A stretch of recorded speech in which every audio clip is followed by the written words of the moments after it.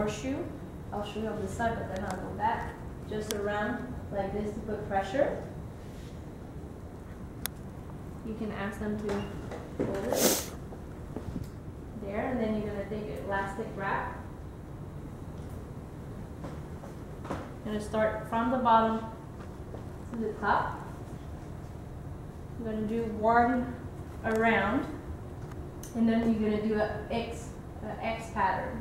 So you're gonna go up with just a little bit of tension. You don't want to cut circulation, and then you're gonna come back down. You're gonna cover about half to two thirds of what you already have there, and then you're just gonna repeat.